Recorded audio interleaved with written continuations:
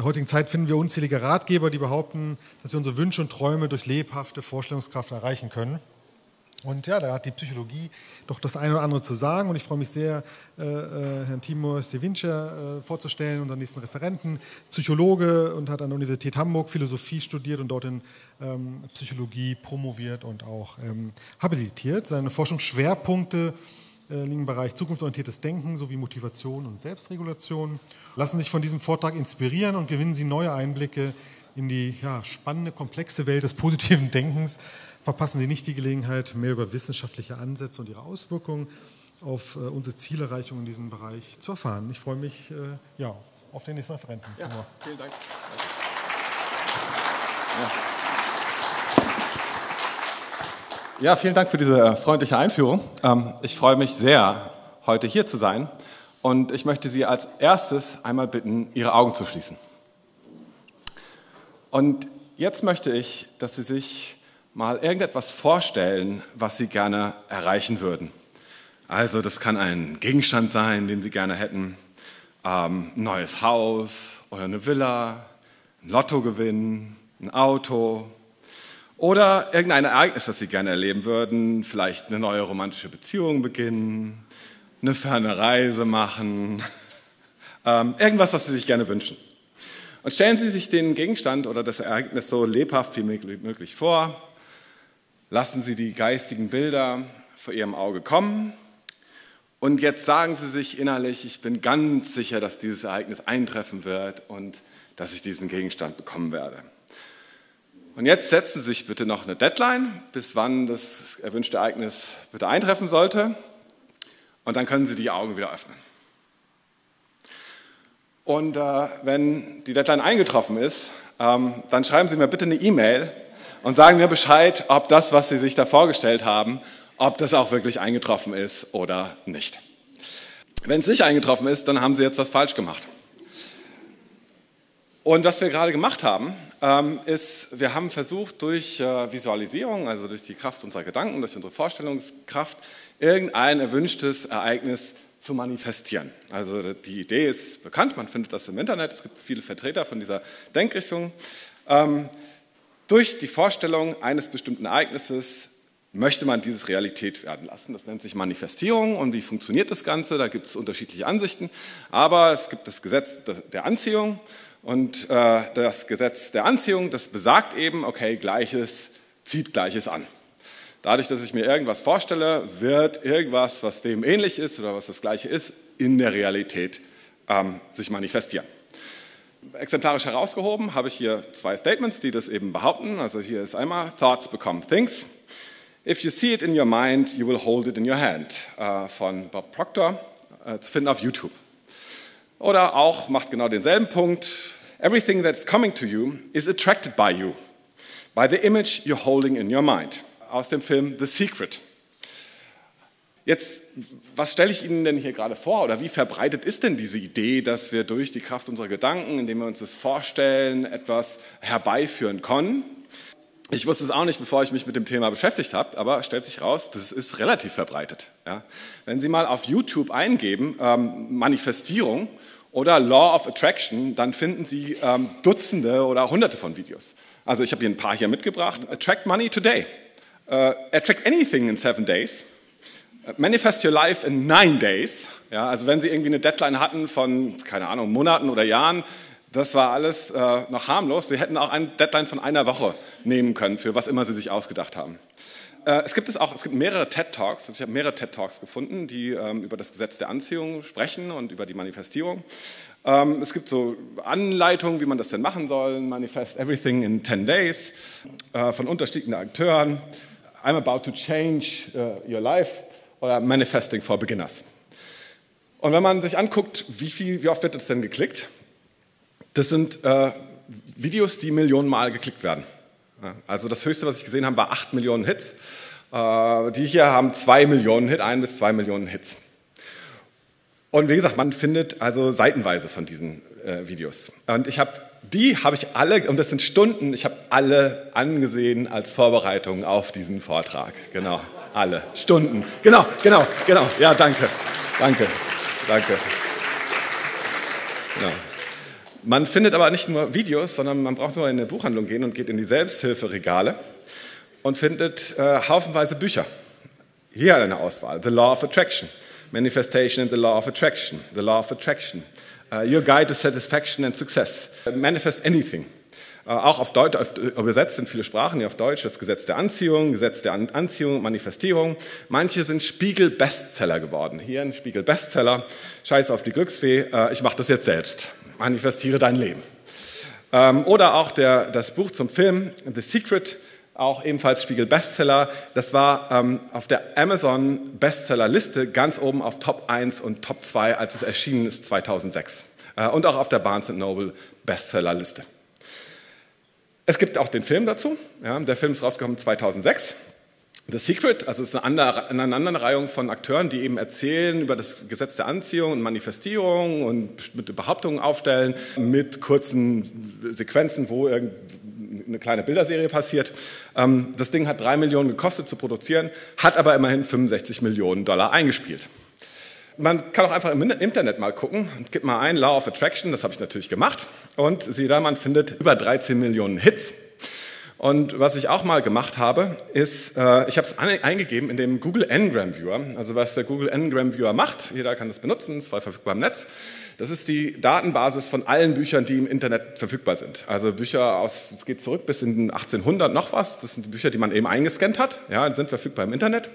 Und auch natürlich Bücher, die neu herausgekommen sind. Das, die Daten, die Bücher sind natürlich heute viel, werden viel, viel, viel mehr Bücher äh, publiziert als damals 1800. Und der Ngram Viewer guckt nach bestimmten Wörtern in dieser Datenbank und kann mir sagen, ich gebe ein Wort an, wie, wie hoch ist der Anteil von diesem Wort von allen Wörtern in allen Büchern im Internet. Und das ist natürlich eine Prozentzahl, eine, irgendeine Nachkommastelle hinter dem Komma, weil es ist ja nur ein Wort von vielen, vielen Wörtern. Aber dann kann man eben ein oder mehrere Wörter angeben, wie zum Beispiel Law of Attraction oder Gesetz der Anziehung. Und das habe ich eben auch gemacht. Und siehe da, was man hier sieht am Anfang, also das ist hier so 1800, das können Sie leider nicht lesen, aber ich erzähle es Ihnen, hier ist 1800, da ist so 1900.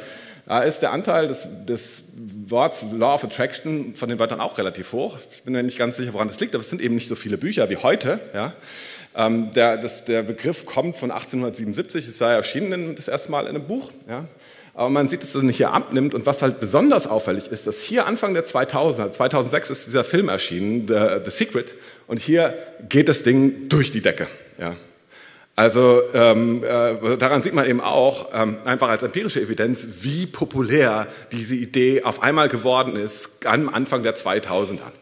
Das heißt, ähm, also um die Frage zu beantworten, ja, das ist sehr weit verbreitet. Ich habe es auch, äh, als ich unterrichte an äh, verschiedenen Universitäten und ich habe es auch mitgekriegt unter meinen Studis. Ja. Die erzählen mir, ich unterrichte Motivationspsychologie und die kommen manchmal und sagen, ja, und ähm, ähm, äh, sie möchten mal Manifestierung lernen oder ob das wirken würde. Und ähm, jetzt die Frage natürlich, mit der wir uns hier beschäftigen, ist, ist das Pseudowissenschaft? Und natürlich kennen Sie die Antwort auf die Frage, ja, sonst will ich auch den Vortrag hier nicht halten. Ähm, ja, sieht so aus, ähm, aber woher wissen wir das denn? Also einmal ist nicht schwer herauszufinden, dass das Pseudowissenschaft ist. Es ist auch nicht jetzt ein großes Geheimnis. Man braucht einfach nur mal auf die Wikipedia-Seite gehen und da steht es eben auch. Ja, es steht eben auch da, äh, okay, Manifestierung ist, äh, wird betrachtet als Pseudowissenschaft. Ähm, es steht auch explizit da, ja, die wissenschaftliche Evidenz dafür, dass es funktioniert, ist nicht gegeben. Ja, es gibt keine wissenschaftlichen Evidenzen. Ist, eigentlich sollte es kein großes Geheimnis sein, dass das Pseudowissenschaft ist. Ähm, aber es scheint sich noch nicht überall herumgesprochen zu sein. Ich habe nochmal geguckt, ob das Pseudowissenschaft ist. Was macht man in 2023, wenn man irgendwas wissen will? Ja, man fragt die AI. Ähm, also habe ich mal eingegeben bei ChatGPT, ist Manifestierung Pseudowissenschaft. ChatGPT war hier sehr, sehr diplomatisch. Ähm, ChatGPT hat nämlich gesagt, uh, Manifestation is not considered a scientific concept, soweit so gut, in the traditional sense. Um, the methods and claims made in the practice of manifestation often lack empirical evidence and are not widely supported by the scientific community. Manifestation tends to rely more on personal anecdotes, subjective experiences, and philosophical or spiritual beliefs. Um, Soweit, so gut, aber wie gesagt, sehr diplomatisch ausgedrückt. Uh, ultimately, whether manifestation is considered pseudoscience or not depends on the context and the criteria used to evaluate its claims. While it may not align with scientific principles, it can still have personal or psychological value for some individuals. Das letzte würde ich gar nicht mal unbedingt ab abstreiten, ja. aber es ist ja auch, er sagt auch, ähm, ja gut, es kommt halt darauf an, was, was, was, versteht man denn unter Pseudoscience? Was ist der Unterschied zwischen Pseudowissenschaft und Wissenschaft? Genau. Und ähm, ich werde Ihnen natürlich jetzt nicht nur vorstellen, was, die, was ich die AI gefragt habe und was die AI sagt, sondern ich werde auch versuchen darzustellen, ja, warum ist denn das jetzt Pseudowissenschaft? Ja. Ähm, für, für, für Ihnen das, ist das natürlich klar, ja. Aber ich werde hier auf vier Kriterien eingehen. Also das erste Mal wird dann überhaupt behauptet, dass es Wissenschaft ist. Denn wenn es nicht behauptet wird, ja, dann, dann macht ja auch keiner die Behauptung. Dann ist es, muss man es auch nicht widerlegen. Dann ist es auch nicht Pseudowissenschaft. Dann ist es halt einfach keine Wissenschaft. Ähm, werden bestimmte ähm, unplausibel anmutende Behauptungen aufgestellt mit einer übertriebenen Gewissheit. Das ist, auch das kann ein Merkmal von Pseudowissenschaft sein. Äh, was sind die Evidenzen dafür? Gibt es Evidenzen, dass das jetzt wirklich funktioniert? Äh, und lassen sich äh, die Behauptungen, denn, die diese, die diese Manifestierungsgurus aufstellen, ähm, denn lassen sie sich überhaupt falsifizieren? Weil wenn nicht, dann wäre es auch keine Wissenschaft oder weniger als Pseudowissenschaft. Oder es ist ein Merkmal von Pseudowissenschaft, dass die Behauptungen, die gemacht werden, so vage sind, dass man sie auch nicht testen kann und damit nicht falsifizieren kann. Ja, wie ist es denn? Wird denn behauptet, das ist Wissenschaft? Ähm, fairerweise muss ich sagen, nicht alle Player in diesem Feld äh, behaupten das. Also da gibt es verschiedene Akteure und Akteurinnen. Ähm, nicht jeder sagt jetzt explizit, es ist Wissenschaft, aber es ist auch nicht schwer jetzt zu finden, ähm, die Behauptung zu finden, dass es Wissenschaft ist. Ja, wie gesagt, in dem Material, was ich mir jetzt durchgesehen habe, ähm, musste ich nicht lange suchen, um Statements zu finden wie uh, It is based on science. Uh, on a scientific level haben wir gefunden das. Uh, the steps of manifesting according to research and science It has been proven scientifically that a positive thought is a hundred times more powerful than a negative one, and scientifically proven fact, and the science of manifestation. Und in der Beschreibung von dem Film The Secret steht auch explizit drin, ja, ähm, also hier werden die Leading Scientists, also die führenden Wissenschaftler und Wissenschaftlerinnen in dem Feld interviewt, die in dem Film vorkommen. Also kann man sagen, ja, die Behauptung wird schon gemacht, dass das Wissenschaft ist. Wie ist es denn mit der Gewissheit, mit der bestimmte erstmal unplausible Aussagen, äh, unplausible anmutende Aussagen gemacht werden?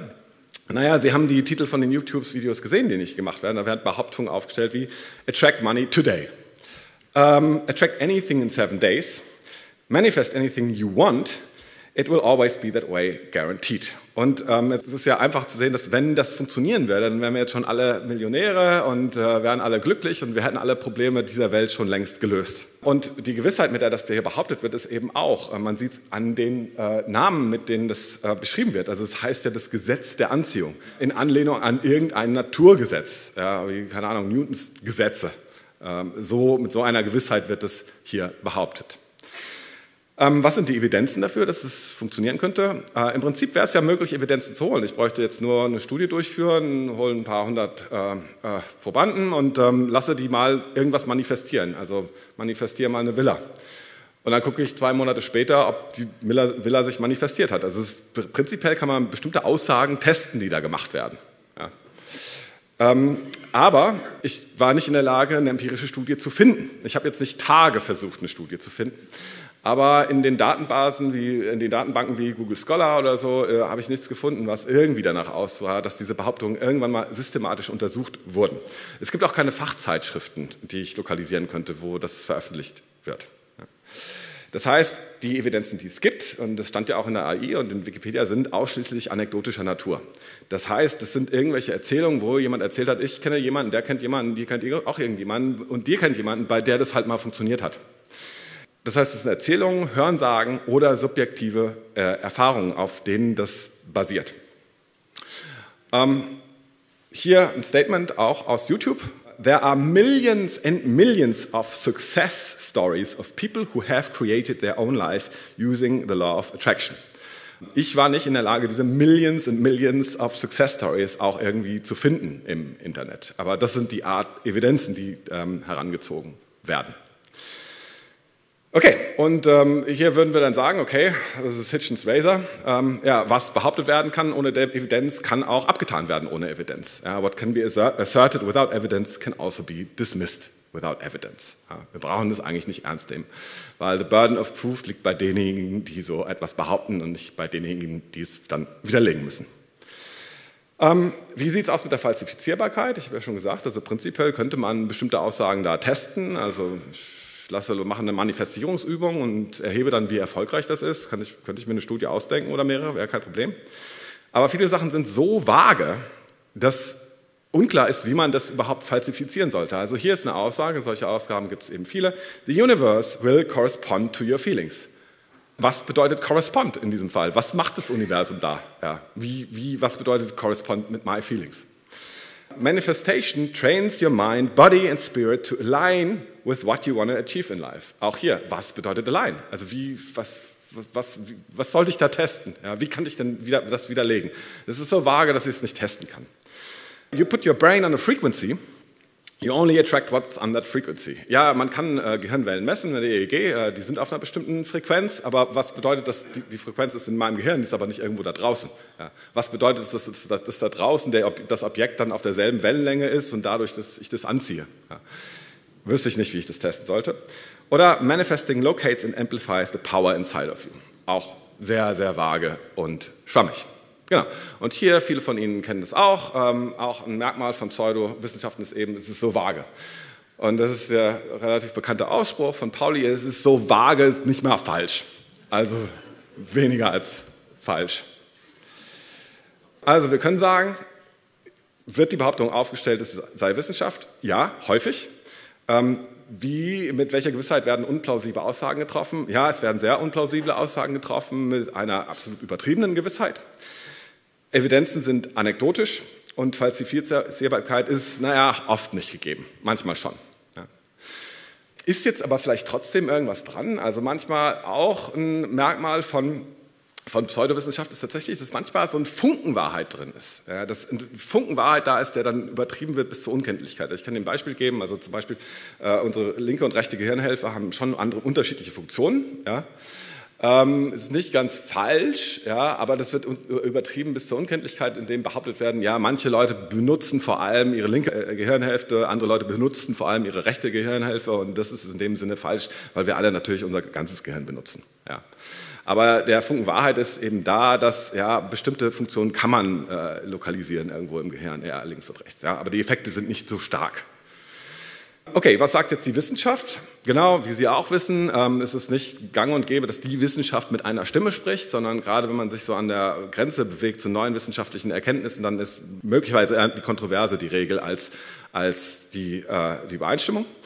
Und äh, ich würde auch zugeben, dass ähm, das nicht immer eindeutig ist, wo die Grenze ist zwischen Wissenschaft und Parawissenschaft. Ähm, äh, würde ich ich würde es so sehen, ähm, ja, bei manchen Sachen können wir ganz klar sagen, okay, das ist Wissenschaft, und bei manchen Sachen können wir ganz klar sagen, es ist Parawiss äh, Pseudowissenschaft oder Parawissenschaft, ähm, aber es gibt eine Grauzone, wo nicht eindeutig ist, was was ist, ja, weil diese Prinzipien auch äh, manchmal verschwimmen. Und ich könnte Ihnen auch sagen, wo manche von den Punkten, die ich erwähnt habe, auch auf Wissenschaften zutreffen. Und wie Sie auch wissen, ist, manche Sachen, die mal Wissenschaft waren, würden wir heute als Pseudowissenschaft be bezeichnen. Also bestimmte Briggs-Meyer Persönlichkeitstest vielleicht. Ja. Korrigieren Sie mich, wenn, Sie das, wenn, wenn, wenn jemand das anders sieht. Ähm, ähm, ich möchte auch nicht sagen, dass ich mich zeige jetzt mit meinem Finger auf die Leute vor uns, die, die an, was falsch gemacht haben.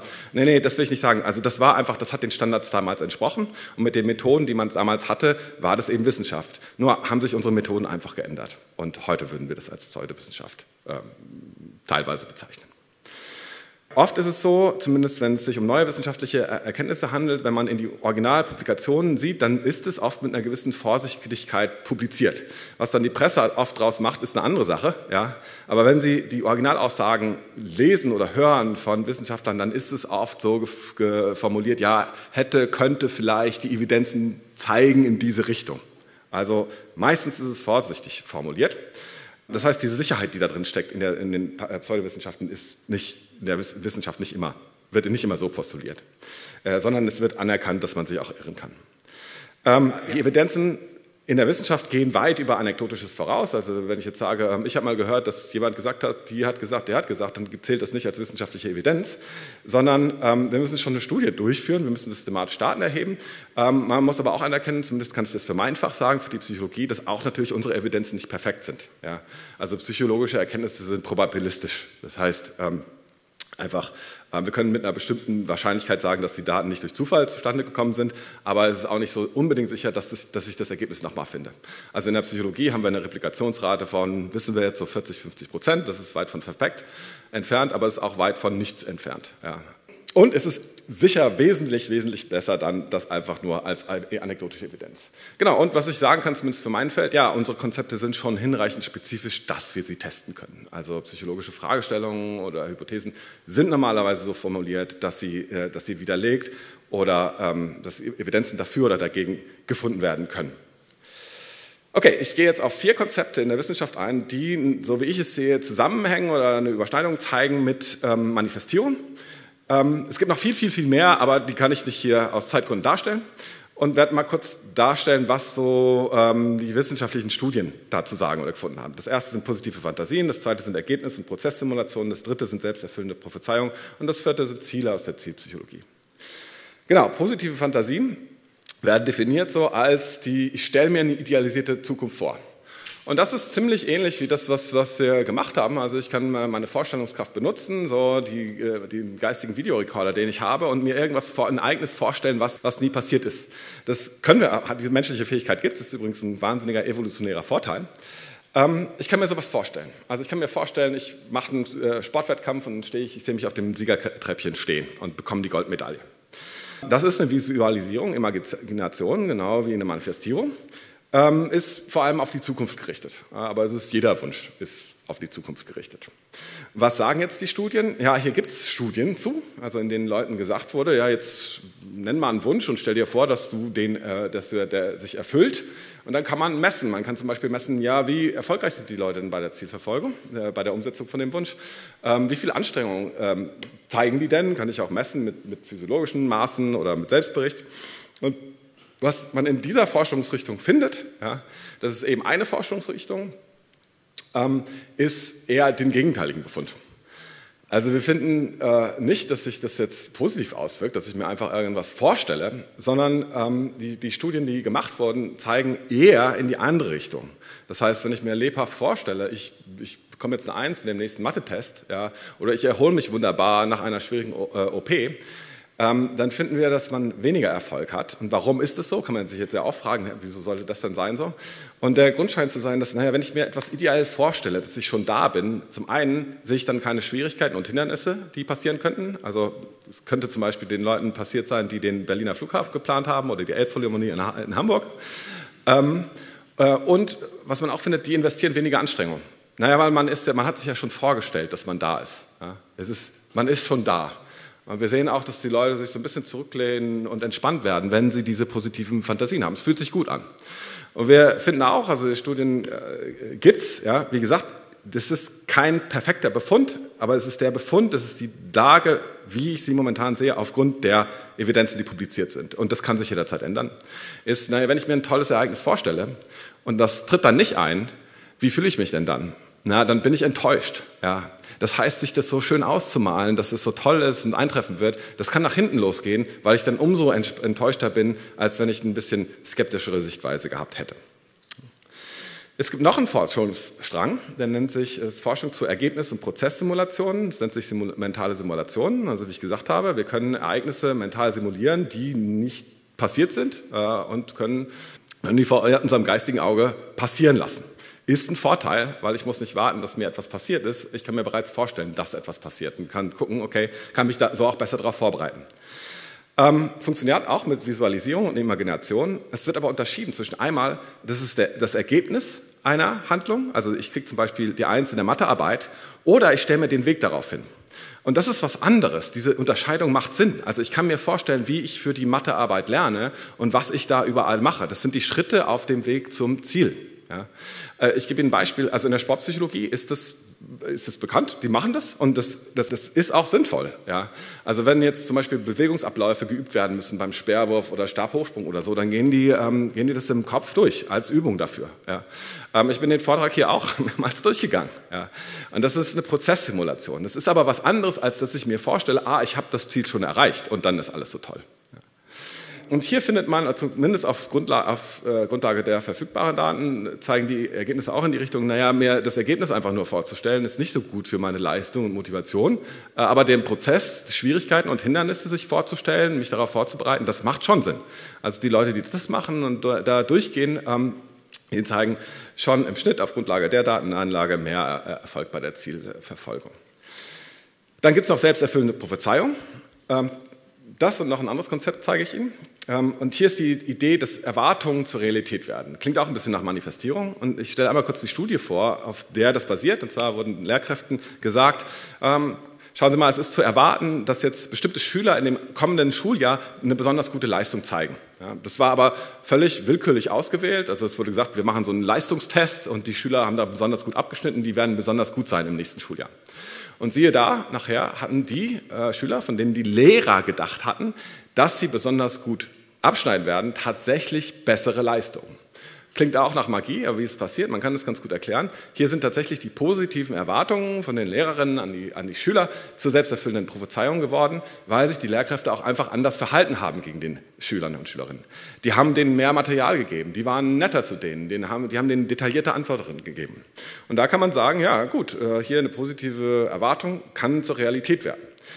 Ähm, nun ist eine Erwartung keine Visualisierung, das ist nicht, ich stelle mir irgendwas vor, das ist einfach eine Einschätzung oder eine Vorhersage oder ein Urteil. Ähm, und es ist, man muss auch sagen, ja gut, der, der Effekt ist jetzt auch nicht so wahnsinnig riesig, also dass ich sagen könnte, einfach eine positive Erwartung für zu wer weiß was für guten äh, Leistungen. Ja.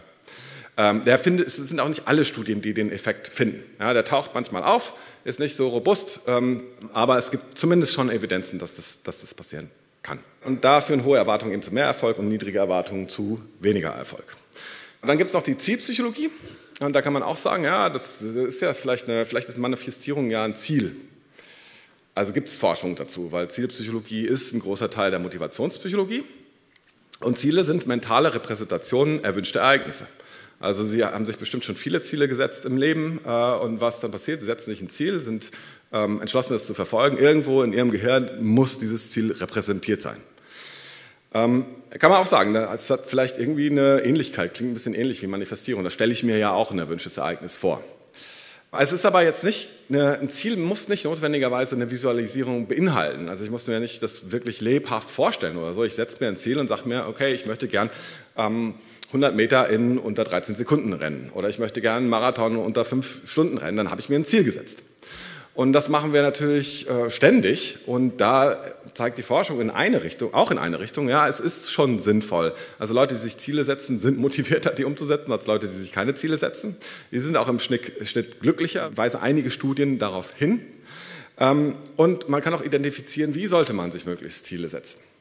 Und zumindest auf der Basis der Evidenzen, die ich kenne, würden die Leute sagen, okay, äh, versucht mal lieber euch nahe Ziele zu setzen, anstatt ferne Ziele äh, möglichst spezifisch anstatt vage Ziele. Und ähm, Ziele sollten jetzt auch nicht zu einfach sein, sondern sie sollten ein bestimmtes Level an Herausforderungen schon haben. Und da kann man sagen, das ist natürlich auch keine Garantie, dass die Ziele dann erfüllt werden, aber man kann sagen, so, naja, im Schnitt von über viele Studien hinweg ähm, äh, hat man mehr Erfolg dann, als wenn man sich vage oder unspezifische und sehr ferne und sehr einfache Ziele setzt was bei der Zielverfolgung helfen kann. Und viele von Ihnen machen das wahrscheinlich schon automatisch. Ja, Sie brauchen nicht unbedingt einen Psychologen, der kommt und Ihnen sagt, was Sie dafür machen müssen. Viele Leute machen das einfach automatisch. Ja, konkret planen, wann man welchen Schritt zur Zielverfolgung umsetzt. Also wann, wie, wo ähm, setze ich mich hin und lerne was und mache was. Ja, genau. Und ähm, zumindest die Studien weisen darauf hin, dass es sinnvoll ist, um äh, Ziele zu, zu, erfolgreich zu verfolgen. Ja, dann möchte ich einmal kurz zusammenfassen, was ich Ihnen alles erzählt habe. Ähm, und zwar habe ich gesagt, okay, Manifestierung, was ist das? Das ist die Visualisierung positiver Ereignisse, soll diese herbeiführen durch das Gesetz der Anziehung. Wie verbreitet ist das? Ja, ist sehr verbreitet im Internet, in, in Büchern ähm, und äh, auch in Filmen. Ist das Pseudowissenschaft? Ja, ist es weil äh, es wird behauptet, dass es Pseudowissenschaft ist. Ähm, es werden unplausible äh, äh, ähm, Behauptungen aufgestellt ähm, mit einer übertriebenen Gewissheit. Ähm, es gibt keine systematischen Evidenzen dafür, sondern nur anekdotische und es, viele Sachen lassen sich auch gar nicht falsifizieren. Ja, was würde die Wissenschaft sagen? Ähm, ja, Evidenzen würden sagen, naja, die Visualisierung idealisierter Ereignisse kann sogar nach hinten losgehen, dass ich mich dann weniger anstrenge. Ähm, und es scheint besser zu sein, dass ich, mich, dass ich konkret sage, wann, wo und wie möchte ich was umsetzen, um meinem Ziel näher zu kommen. Und ich will dann mit einer Anekdote abschließen, ja, weil ich, ich, hatte, ich hatte Ihnen ja gesagt, ja, unter meinen Studis ist das weit verbreitet, dass die, wie ich bemerkt habe, die kam dann, ich habe das gemerkt, die, äh, für dieses großes Ding, die benutzen das auch und sind davon ausgegangen, dass das effektiv ist. Und die kommen auch manchmal zu mir und fragen mich dann, Herr Sewinscher, ja, wie soll ich mich denn am besten auf die Klausur vorbereiten? Ja, und ich will dazu sagen, ich habe sehr, sehr engagierte, sehr interessierte und auch sehr clevere Studis. Ja. Und ähm, meine Antwort ist dann nicht, ja, nehmen Sie sich zehn Minuten Zeit pro Tag und stellen Sie sich vor, wie Sie die Bestnote schreiben werden, sondern meine Antwort ist, okay, machen Sie ganz klar, wann, wo Sie sich hinsetzen wollen und was Sie für die Klausur vorbereiten möchten, um sich, die, äh, um sich für die Klausur vorzubereiten. Genau, und damit bedanke ich mich und wünsche Ihnen viel Erfolg bei der Umsetzung Ihrer Ziele und äh, Wünsche. Ja, vielen Dank. Sorry.